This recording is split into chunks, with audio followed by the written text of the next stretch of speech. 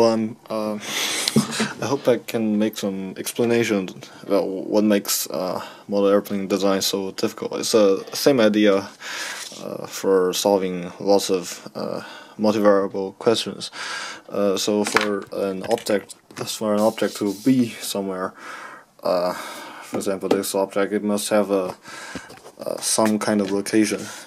So, for example, in the 3D space you could have e you could have either left hand or right hand coordinates that doesn't matter. Uh, you could have a location so that's a position of x uh, y z. And uh, you also get something called uh, uh, velocity uh, which is the displacement which is the the difference in two places uh, with, respect, with respect to the difference in time and you also get uh, velocity which is the, the rate of change of uh, velocity with respect to time. And then we we could we could assume that the space is the space is um, consistent. Uh, it, it won't be very technically correct but uh, in most cases it works very well. So uh, this could be the uh, first derivative of the place function of time. And and also this uh, this could be this could be that. So so that's the that's sorry about my handwriting.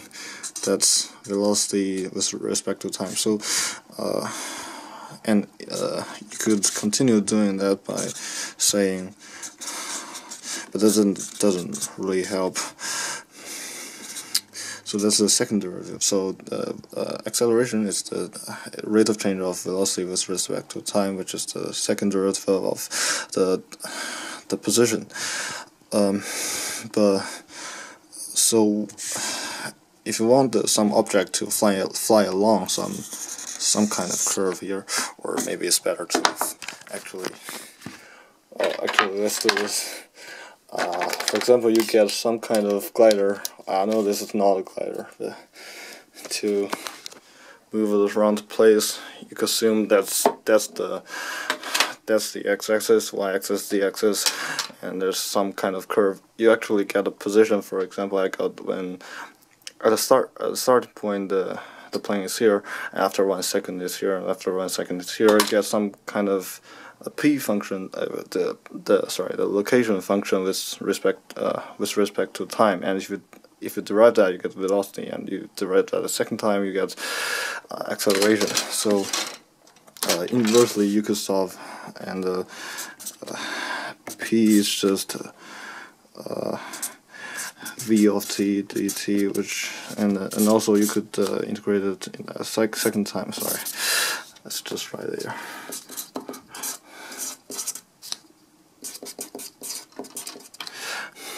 And and also for not it's not it's not only for the translational motion, it's also for rotational motion. If you get us playing here, I just uh, draw a very simple plane. You could uh, you could rotate it with this axis or you could rotate you know and also what's the what's the other axis. Yeah there. You could do this. So let's just use so you could move it that way this way or this way or that way or this way. So and uh, so you get a was theta and uh, so uh, in relation to uh, acceleration you get uh, uh, sorry velocity you get a omega is and uh, acceleration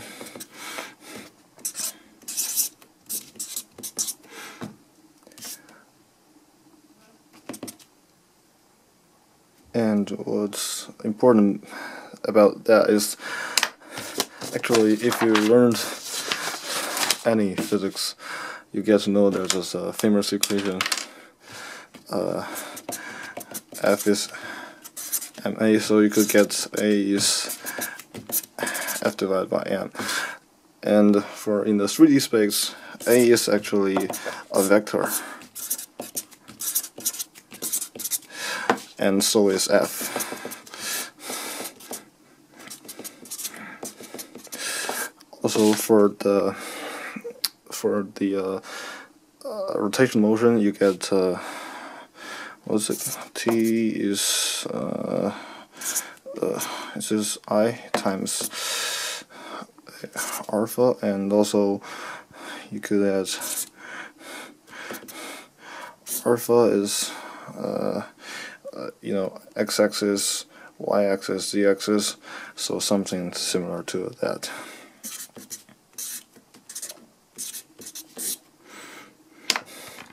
So let's sorry first agree that we could do that together. So don't worry about it. Uh,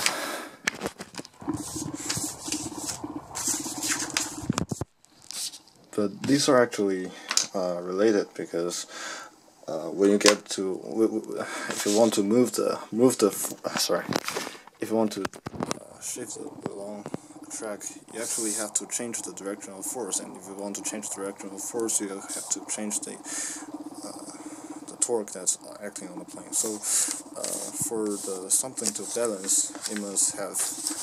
Uh,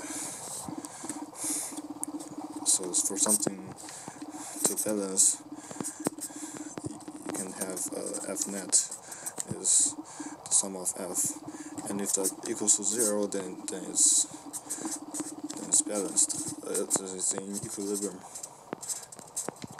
And also for the torque, it also applies. Mm, so we could look at the the very uh, the very simple the, the simplest if a if the plane is flying horizontally with a constant velocity without any pitching upwards, pitching down, you could have so you could have this equation because it's in equilibrium. But uh, when you are uh, analyzing it, the first equation indicates that around a certain point of mass, let's say that's the center of center of mass, and get a gravity and also get so this is lift we could call it FL uh, lift and this is air drag. And uh, same thing you get torque uh, thrust. Let's just call it FT so from the first equation you get uh, from the first equation you get uh, FT equals to f drag. And uh, and also fl equals to fg but this is uh, this is very simple because you you don't you don't really know how big this these things are. So you know fg is mg but uh, so I want to generate fl so how how does the lift equation works is that uh, in last uh, last century or before last century, someone defined the equation of uh, of the of lift and drag. It follows that FL is one half of CL rho S V squared, and also FD is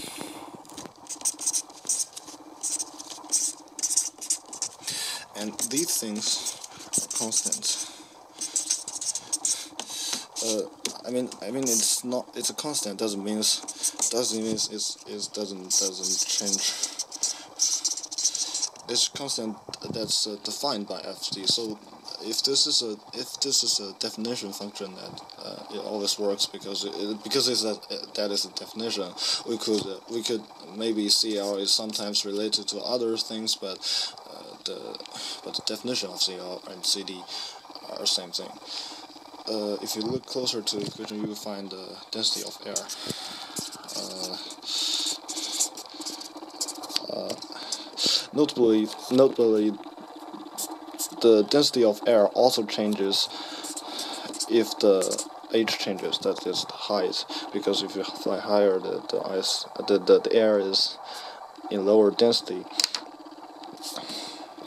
But what's uh, what's most important here is uh, when you're uh, when you're designing a small plane, you really care about that. But if you if you want to care about, uh, say, uh, if your plane is going higher than than than a usual uh, normal model plane, then you might consider that rho is, is, has some relation to the height, and that will bring more problems.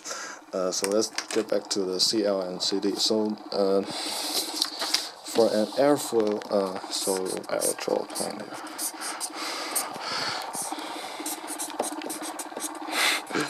That's uh, alright. That's my plane. So uh, the the lift are mainly generated by the by the main wing and maybe the horizontal wing, but uh, you get the F net. So this this F net is uh, is the uh, is all the forces acting on the plane, and you also get a F L net.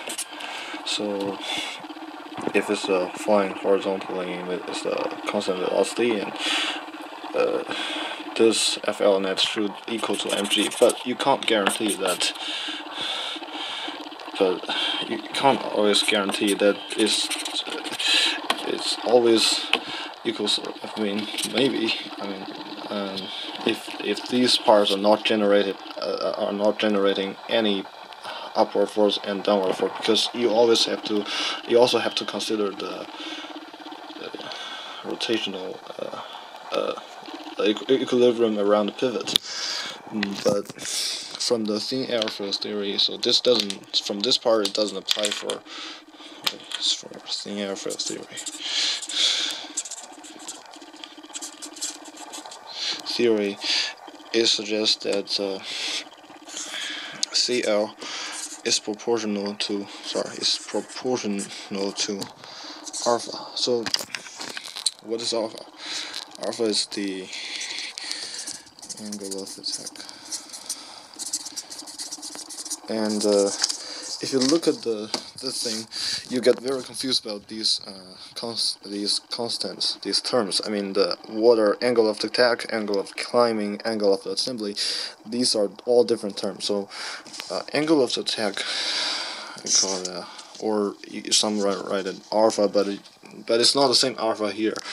Uh, or somebody write it as AOA, angle of attack. It's the angle between some geometric form with re respect to v. So if my plane is flying uh, horizontally, even if it's not climbing at any, even if it's not climbing or uh, descending, it still has angle of attack because with respect to respect to velocity, it has some kind of angle. Right, so so th this this is different from the climbing angle. And even if I'm climbing straightly afterward the angle of attack could be zero. Because it, uh, respect with respect to velocity this geometric form doesn't have this uh, this angle. It's if I'm climbing this way uh, the angle of attack could be zero or even negative. Uh, and what are the and and the other thing is the climbing angle. Uh, some people call it theta. It's the it's the it's the uh, angle of the track, the track the plane is flying. So if I'm climb, climbing at 55 degrees, it means that no, no, no matter how this this is gonna be, it's, it's just climbing at 55 degrees. So, and this one is the horizontal line. And this one is the direction of the respective velocity instead of that. Should write as a vector. So, uh, but there are different ways you could solve it actually. If you look at the whole picture, okay, you can't look at the whole picture, but some of the, at least, at least these three things. Uh, the ft equals ft, fl equals to m, fg equals mg. So these two parts are the forces that generated by the the air. Argue that the ft is somehow related to the velocity, but mainly lift, lift and drag. They are uh, given by air, and that's uh, that's uh, affected by the velocity, ge geometric, and, and other stuff.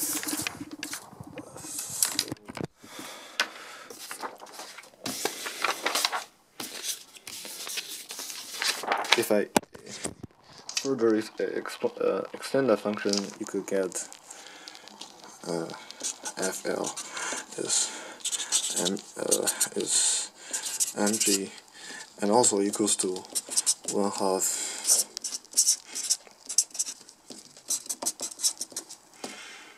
ft equals to ft thrust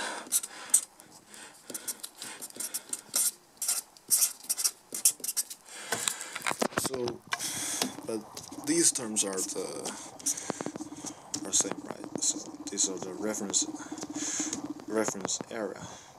So you could actually solve these parameters.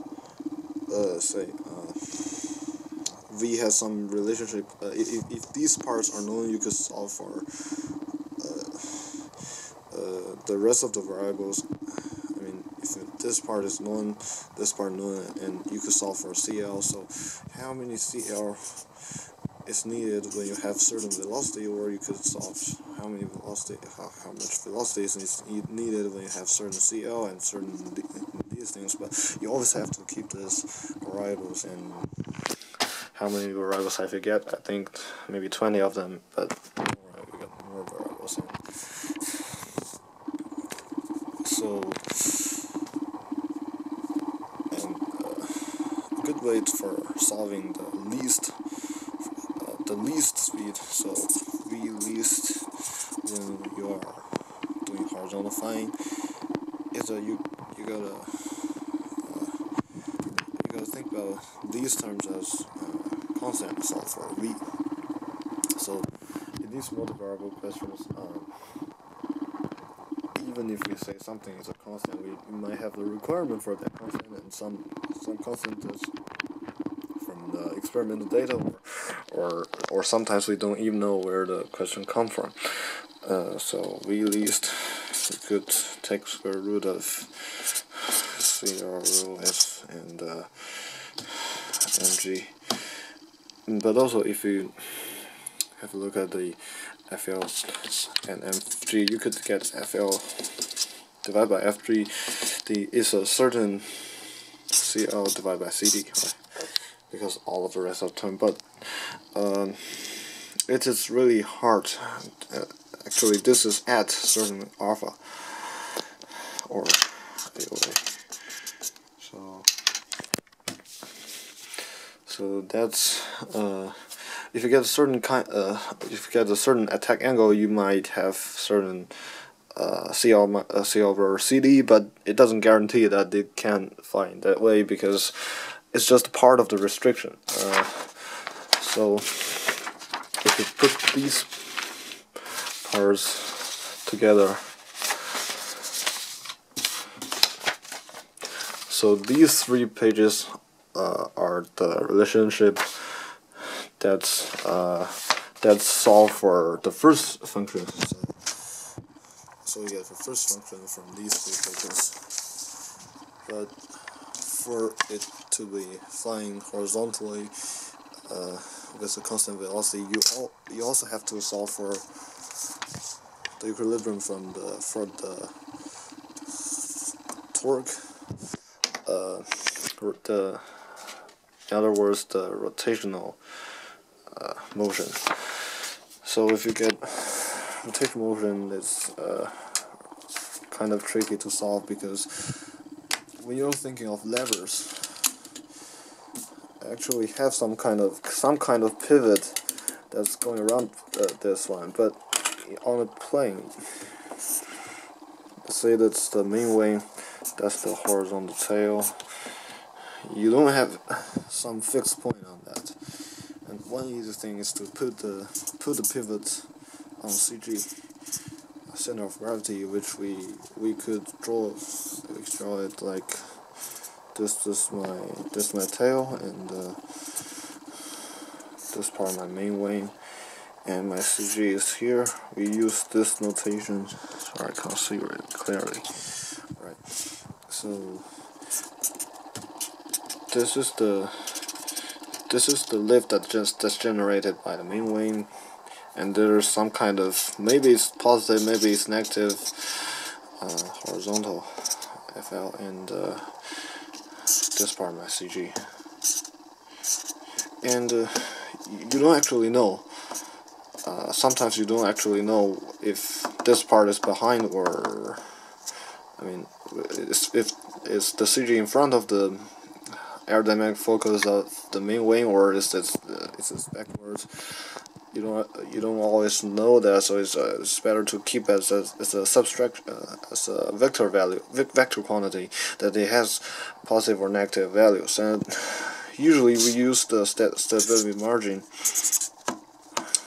that and it's, it's better to write the the forward uh, stability margin is xmp minus xcg divided by c. Was c? c is the main aerodynamic dynamic chord of the main wing, and what's the what's the main aerodynamic uh, chord of the wing? It's defined by uh, half b from zero from zero to wingspan, and there's uh, there's a y of x dx. Actually c of x of the chord the length of x. So you you so you just just imagine you get uh, some maybe trapezoid wing that's some, that's somehow easy to do. And you get airflow from root chord to main chord and you gotta square that thing. Just that's just the intuitive way of uh, remembering the formula. And you get the mean aerodynamic chord and uh, the and what is uh, XMP XMP is a value that uh, if you position the if you position the if you put the CG at the neutral point uh, the torque doesn't the torque doesn't vary uh, due to the uh, due to the change in in uh, angle of attack. Uh, this might be a little bit difficult to understand, but uh, if you think in this way, you get some kind of pivot. Mm, and there's my main wing. And this is my tail. and this is L1 this is this this is this is just name it capital L. This is my lowercase l and it's going to follow the main wing the lift of the main wing times the, the big L plus F tail times small l equals to zero because this part is uh, yeah, uh, uh, sum of torque. Alright, the center of gravity is uh, in the center of gravity is gonna change the uh, balance in the uh, the equilibrium. So if you put the CG in uh, in the middle of the main wing and tail, uh, then both wings are gonna generate uh, lift upwards. So using you're using the um, uh, lift from both tail and main wing.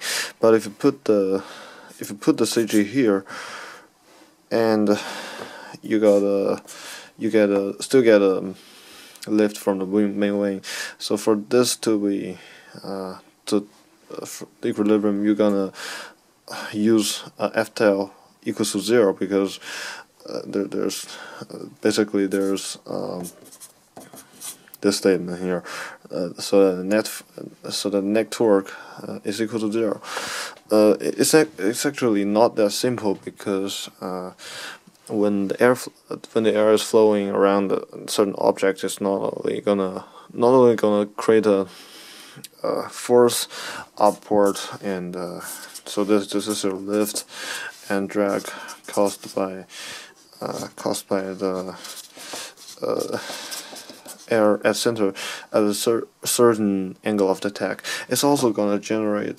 It's gonna exert uh, a torque uh, on the wing, but this torque is uh, usually quite small and uh, negligible. So the definition of SM is uh, the, uh, the sorry the the definition of XMP uh, is called the neutral neutral point.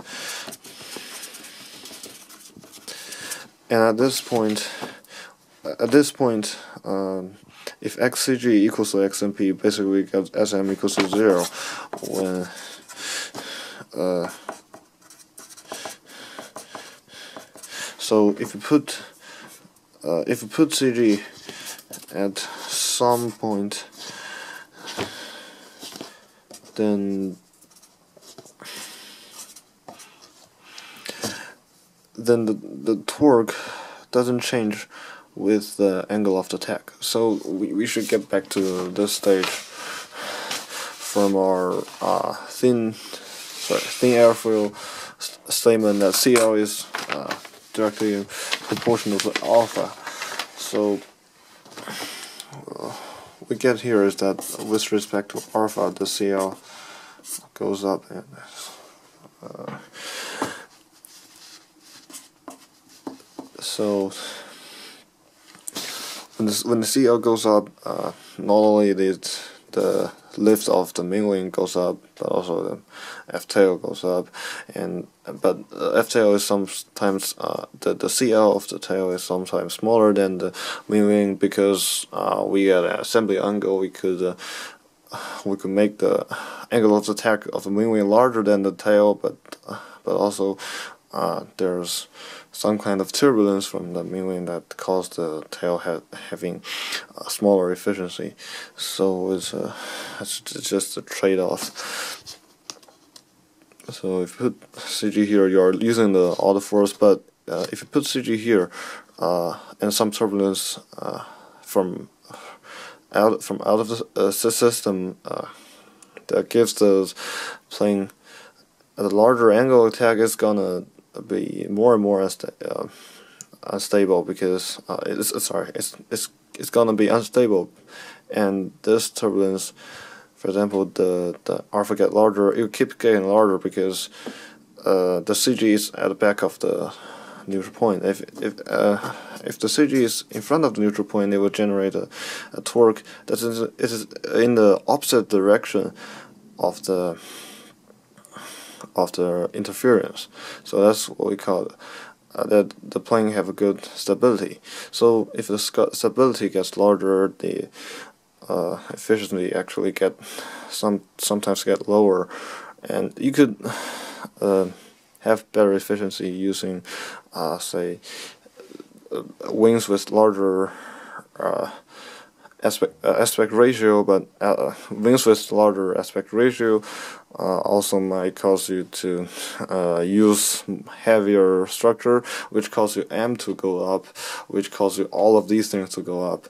Uh, so this kind of for this kind of multivariable uh, problems, you actually have to either symbolic solve or just explore or just work from some initial uh, from initial conditions and work with constraint to move from low fidelity model to higher fidelity model. And I'm not going to cover up every model that's uh, used. Uh, actually, it's, it's impossible, and you have to uh, derive something for uh, your uh, specifically for your function. So that's why I created a, this model airplane design package uh, in R. And but anyway thank you for listening to this part of advertisement but just don't forget this that's only a small part of the problem that this uh, big puzzle start to make connection and uh, start start to get